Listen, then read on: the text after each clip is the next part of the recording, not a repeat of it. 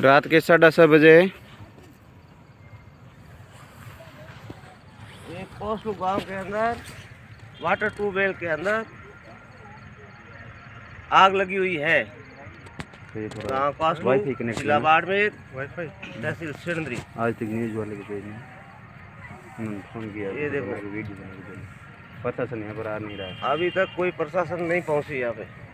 कल S D M साहब आए देख के वापस चले गए। बहुत डेंजर आ गए बहुत ही डेंजर ये जहरीली गैस है। ये गैस लग रहा है। जो गाँव गाँव के लिए बहुत बड़ा खतरा है। खतरा ये गैस जल रहा है ट्यूबवेल के अंदर से वाटर ट्यूबवेल है।